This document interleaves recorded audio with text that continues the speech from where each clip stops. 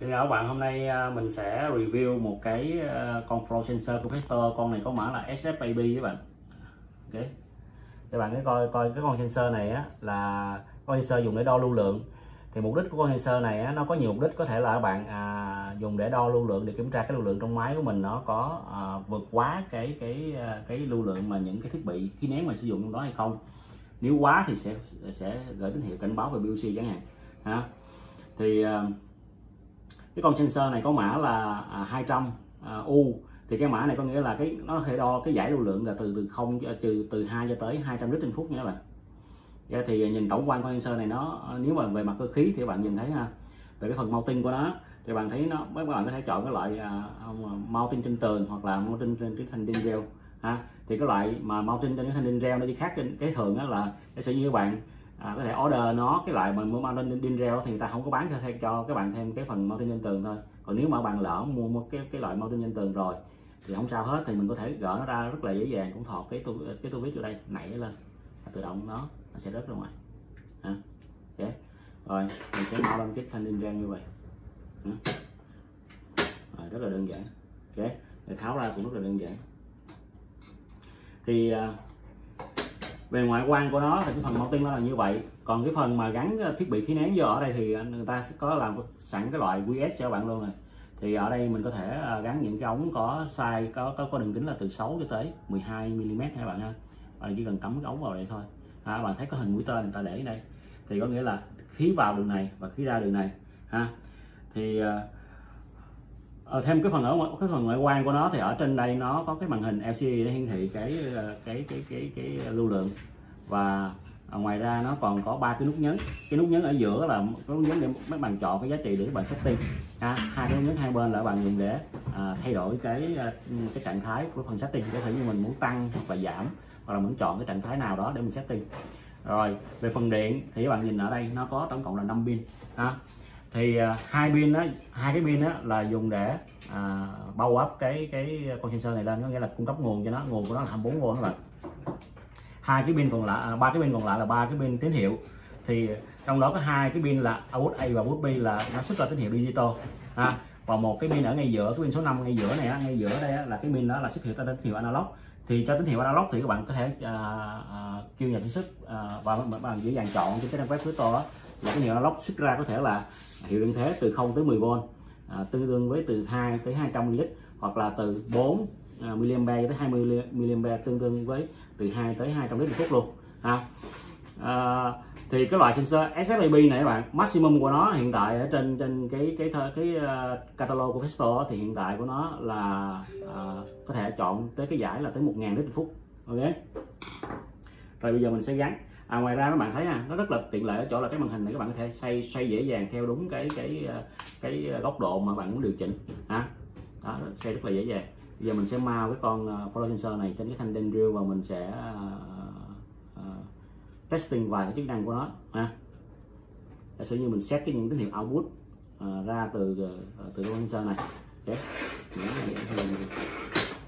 à, mình xoay cái màn hình nó về uh, vị trí à, ngang để cho dễ quan sát thì ở trên bàn này các bạn thấy ha ở đây mình ờ, có cái bầu vào. À, mình gắn vào cái đầu đầu ra của cái cái cái con sensor này. Ok để mình điều chỉnh lưu lượng cho tăng giảm lưu lượng chẳng hạn ha. Còn đầu vô mình sẽ gắn cái khí nén khí đầu vô vào, vào vị trí này. Ok mở khí đầu vô.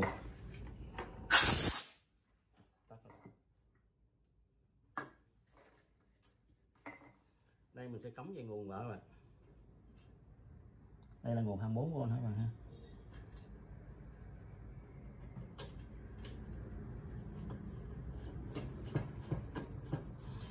Cái nguồn mình đã bao góp sẵn thì các bạn thấy đây nè nó có hai tín hiệu ha output A và output B.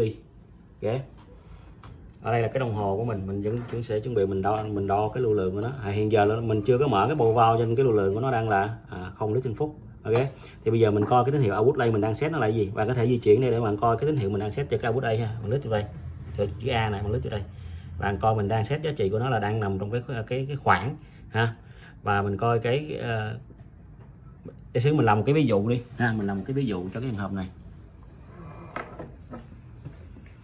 Một cái ví dụ là rất đơn giản vậy. Có nghĩa là mình đang có một cái máy và mình biết là tất cả cái cylinder ở trong cái máy đó giả sử nó nó chạy ở cái khoảng lưu lượng là từ 20 cho đến 30 lít trên phút. Uhm,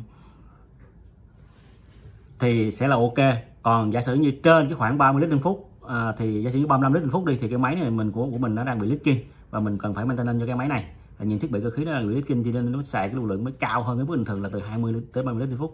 Thì mình sẽ set, ở cái output đây mình set một cái ờ, khoảng giá trị có nghĩa là từ 20 cho tới 30 lít trên phút thì chấp nhận được, ha. Nhưng mà từ 35 lít trên phút thì nó sẽ xuất tín hiệu output B về. Từ 2 cho tới 30 lít trên phút thì nó sẽ xuất hiệu, xuất tín hiệu output A về nghĩa là trạng thái máy là ok. Nhưng mà khi mà cái output B nó xuất về thì mình biết là cái máy mình đang bị lít kinh và mình phải maintenance lên cái máy của mình, ok?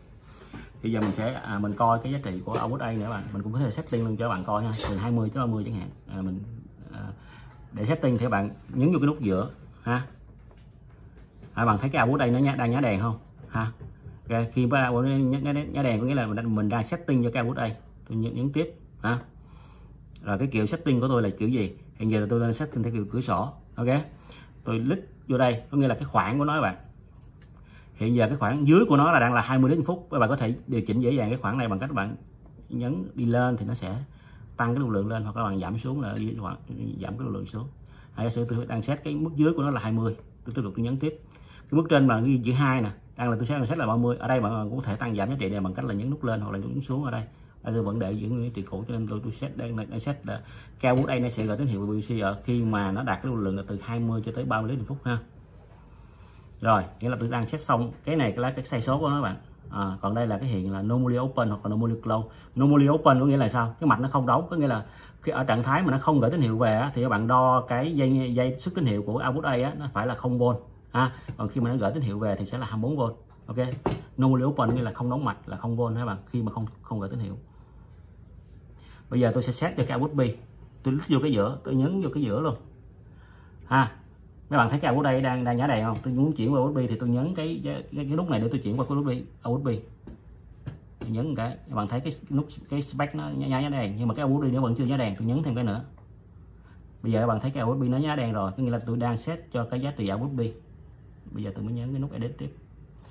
Tại tôi tôi tôi đang set cái theo cái dạng là cái ngưỡng thôi. Có nghĩa là nếu mà cái uh, cái cái cái cái cái cái, à, cái, cái uh, dòng lưu lượng mà nó trên 30 lít, nó hay là 35 lít thì cái máy bị lít đi. Thì tôi xét cái giá trị nó là 35 ha lít một cái. Và tôi chọn là 35 ở đây tôi có thể chọn lên là 40 hoặc là dưới 35 32 chẳng hạn. Thì nó sẽ gửi tín hiệu output về. Ok? Để sẽ như tôi để mặc định là 35 thì tôi có để nguyên 35 và có thể tăng lên hoặc là giảm xuống bằng cách nhấn nút lên hoặc là xuống như vậy. Ừ. sẽ như tôi để 36 đây chẳng hạn. Rồi tôi xét cái giá trị này. Có nghĩa là như thế nào? Có nghĩa là từ 20 à cái sai số nhỏ là là một luôn lít phút luôn các bạn ha? Có nghĩa là sau khi tôi xét này là normally open luôn. Có nghĩa là à, gửi tín hiệu về thì cái à, dây dây xuất tín hiệu pin nó sẽ là 24V okay. Dạ. rồi có nghĩa là sau khi tôi xét xong thì cái cái cái máy của tôi nó sẽ hiện hai trạng thái. Khi mà cái lưu lượng nó đạt từ 20 cho tới 30 lít trên phút thì cái output A nó sẽ gửi tín hiệu về. Khi đó các bạn sẽ thấy một cái giải tín hiệu nó gửi từ cái output A, A về. Hoặc là cái chân của cái output A các bạn sẽ đo nó là 24V chân dây đen này nè à, 24V cái này là USB B cái là tín hiệu analog gửi về các bạn? Còn khi mà nó quá cái giá trị từ 20 cho tới ờ, 30 mốt ba 31 32 thì nó vẫn chưa gửi tín hiệu về. Nhưng khi nó lên tới 36 thì cái output nó sẽ gửi tín hiệu về. Khi đó mình biết là cái máy mình bị leaking rồi mình cần phải maintenance cho cái máy của mình ha. Đây là cái đồng hồ đo các bạn. Giờ mình sẽ đo ha. Đầu tiên mình sẽ đo cái nguồn trước. Ha, mấy bạn thấy đang mình đang để cái hiệu điện thế này mình sẽ đo cái nguồn trước có phải là 24V hay không? Ha, bạn thấy đồng hồ nó hiển thị là 24V ha? À, tôi đo ngược cho nó hiện giá trị âm. À 24V ok. Bây giờ tôi đo cái output A nè. Bạn thấy sợi dây đen là cái output A ha? Tôi đang đo nó sẽ phải là 0V hoặc là cái sai số đó bạn thấy nó là, là mV thì tương đương là 0V ha bạn? 21.2 mV thì tương đương là 0V cái output B cũng vậy nè?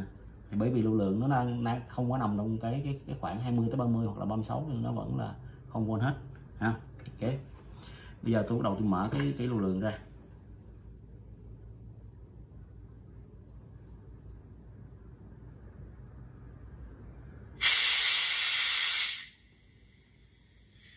Và tới hai lít trên phút này bạn chưa? Gửi tín hiệu ở đây vậy ha. Tôi mở từ từ, tôi mở tiếp nè.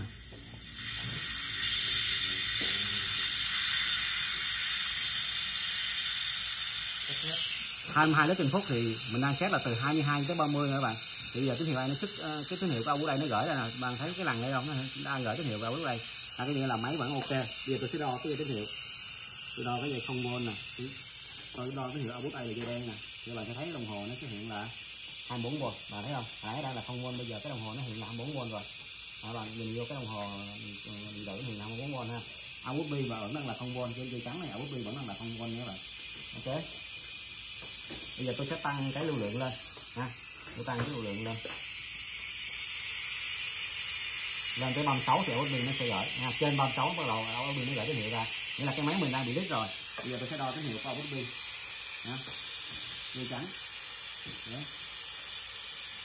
các bạn nhìn được cái đồng hồ đang là 24V có nghĩa là tín hiệu ở output pin đang gửi về là 24V à, nó tắt rồi.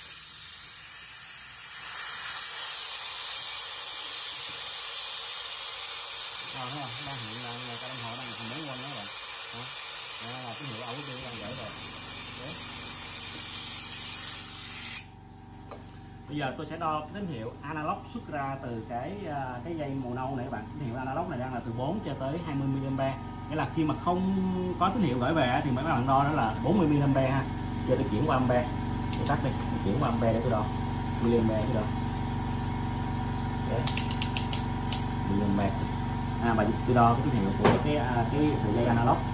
Pin số 5 á bạn thấy sợi dây màu nâu này nè là cái pin số 5 mấy bạn đo nó đang phải là 40 mA mới đúng. Bạn thấy không?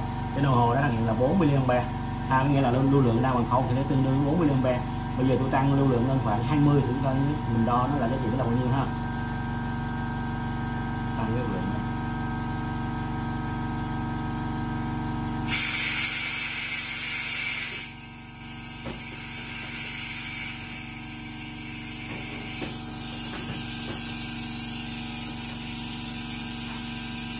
bạn thấy tín hiệu đang hiện giờ đang gửi là, 60 mA các bạn. Ha có nghĩa là cái hiệu analog đang gửi ra là 60 mA thì tương đương với 21 cái phút trên đây. Ha thì nếu mà các bạn dùng cái tín hiệu analog này các bạn có thể dùng uh, để các bạn ờ, viết chương trình cái phần E tin đó để bạn có thể đo lưu lượng trong một ngày là các bạn xài bao nhiêu lít trên phút. Ha ok. Thì hy vọng là thông qua cái video này á thì các bạn ờ, dễ dàng các bạn có thể setup cho một cái con sensor lưu lượng Vector và nó cũng rất là đơn giản và dễ sử dụng các bạn thì ở dưới cái video này mình cũng có đính kèm cái tài liệu hướng dẫn cho các bạn cách setting cái con sensor này. Thì uh, uh, các bạn dễ dàng download uh, và tìm cái mã sensor này thì khi bạn cần báo giá thì bạn có thể gửi email hoặc là các bạn à, có những thắc mắc nào bạn có thể comment dưới video. Và xe mình sẽ ờ, sẽ trả lời về cái phần kỹ thuật. Và còn về giá cả thì các bạn có thể liên hệ với xe photo hoặc là các bạn cứ gửi email cho mình mình sẽ gửi cho gửi comment và gửi email cho mình thì mình sẽ liên kêu sale liên hệ và báo giá cho bạn về cái con flow sensor này. Ok? Cảm ơn các bạn theo dõi, đã theo dõi và hẹn các bạn bạn hẹn gặp lại các bạn ở những video kế tiếp.